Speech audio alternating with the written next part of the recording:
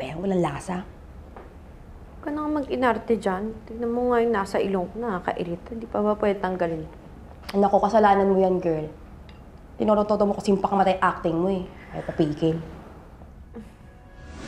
Sa'yo, huwag mo na kayo tuluyan. Delikado yung pinaplano mo eh. Paano para tuluyan ka? Leslie, kaya ka nga nandito, di ba? Para masigurado mo na isusugod ako agad sa ospital. Leslie, makinig ka sa akin. Sa'yo nakasalanan yung success ng plano ko. So please, please huwag mo ko pababayaan. Shaira, kabaliwan yan eh.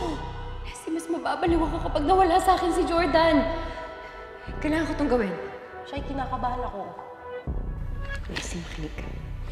Ako din kinakabahan din ako. Pero wala na ibang tutulong sa akin kung hindi ikaw lang. So please, please help me. Hmm? Tulungan mo ko mabawa ko ulit yung pamilya ko. Kailangan ko talaga itong gawin. Ito na lang talaga yung paraan.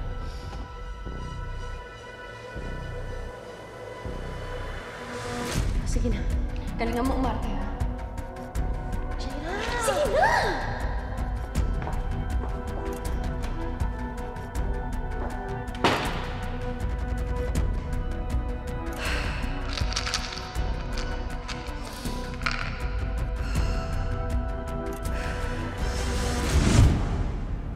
Pero in fairness, ang galing mo doon. Hindi mo ko pinabayaan. Siyempre, no? Baka kung ano pang mangyari sa'yo. Diyos ko. Aminin mo na, love mo rin ako at saka yung kabaliwan ko. O, di ba? Hindi ka naboboard pag ako yung kasama mo. Hindi nga ako naboboard. Tatanda naman ako agad sa mga pinagagagawa mo. Hay nako siya, ya. Seryoso ako. Huwag mo nang ulitin to, ah. Hindi mo dapat sinasaktan sarili mo para lang kay Jordan. Lang. Hindi lang si Jordan. Leslie, alam mong asawa ko siya at mahal na mahal ko siya. At gagawin ko ang lahat para hindi niya ako iwan. Tsaka nag-work naman, di ba? Oh, hindi dito na si Jordan. Concern na siya ulit sa akin. Lahat yun dahil sa fake suicide ko. Shay, Jordan, nandiyan ka pala. Ang ingay pa naman namin ni Shaira mag-usap. Di ba kami rinig sa labas? um, hindi naman. Mabuti nga eh, at least mukhang masigla na si Shaira. Um, magpapaalam muna ako, ha? Aalis ka? U- uwi lang ako saglit. Dito ka lang, huwag ka na umalis.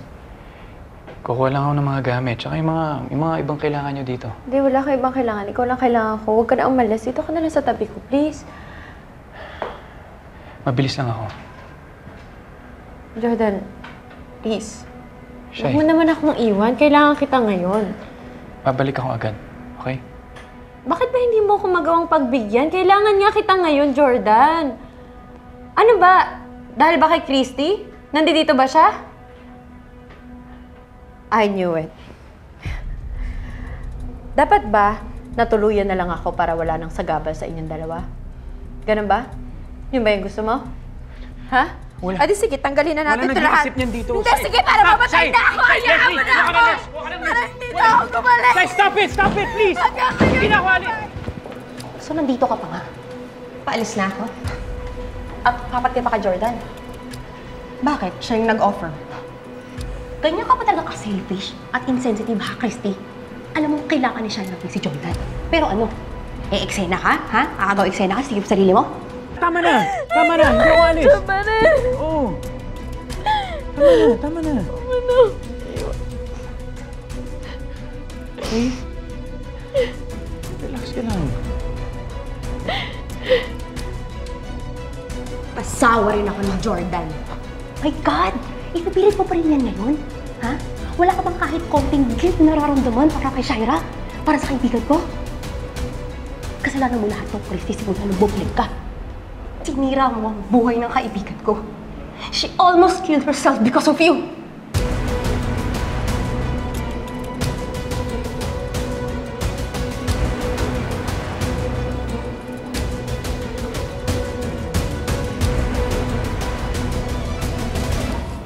Nabigyan na namin siya ng mild sedatives to calm her down.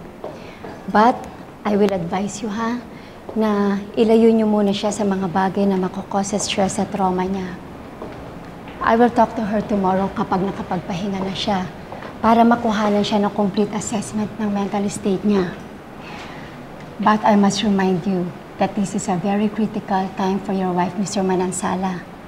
She needs all the support from her family that she loves. At huwag niyo muna siyang iwan mag-isa, okay? Naintindihan ko, Dok. Hindi namin siya pababayaan. Sige. Salamat. Sige. Ano ba? Ano ulit mo, Dok? Si Christy.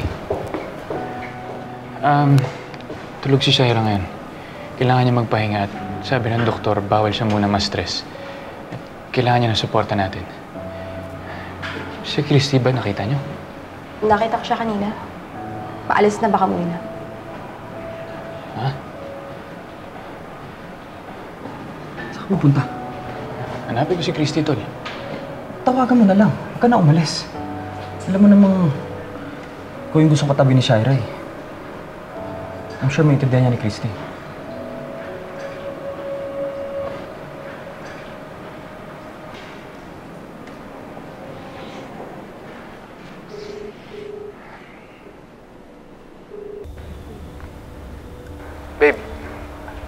Asan ka?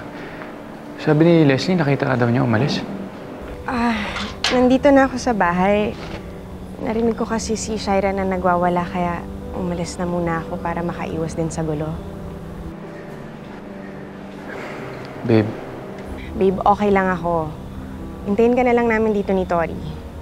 listen babe, um, I'm sorry pero parang, parang kailangan ko magstay dito just for tonight. Sabi kasi ng doktor, wag daw muna namin iwan si Shaira.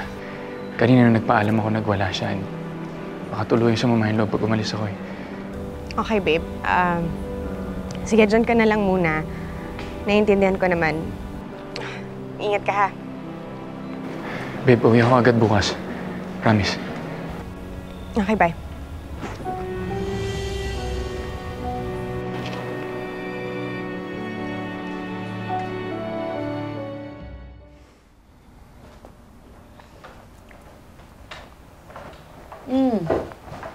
Nakatulog na ba si Tori? Ma, opo. Ah, yun nga, eh, hinahanap yung daddy niya, kaya nagdahilan na lang ako, ma, kasi baka wala namang sabihin ko po na may nangyari kay Shaira, di ba? Oh. Kumusta naman siya? Anong sabi ni Jordan? Hindi ko po muna binabasa yung mga text. Bakit? Nag-away kayo?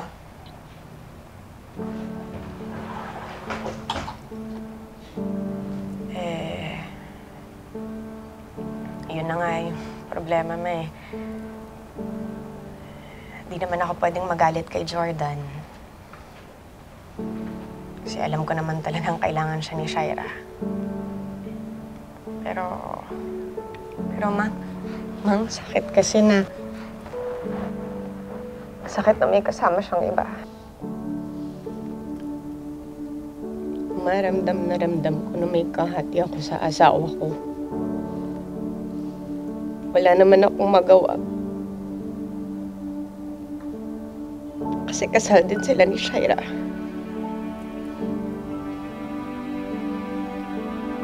Kaya may karapatan din siya kay Jordan. Nagtiwala ka na lang kay Jordan.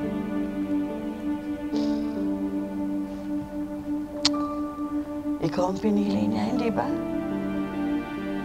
Dahil ikaw ang mahal niya. At ngayong nakabalik ka na, sigurado ako na hindi siya gagawa ng kahit na ano na makakasira sa inyong dalawa. Just trust.